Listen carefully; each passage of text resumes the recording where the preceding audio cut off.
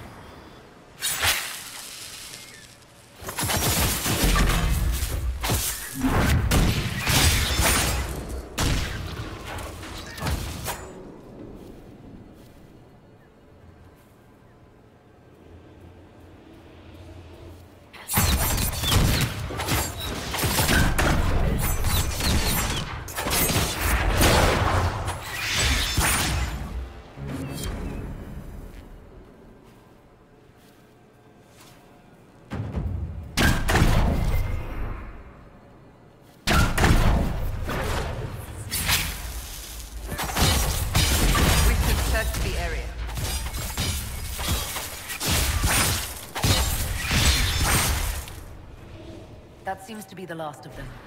I'm guessing that was the man in charge. We've struck a blow against the Freemen.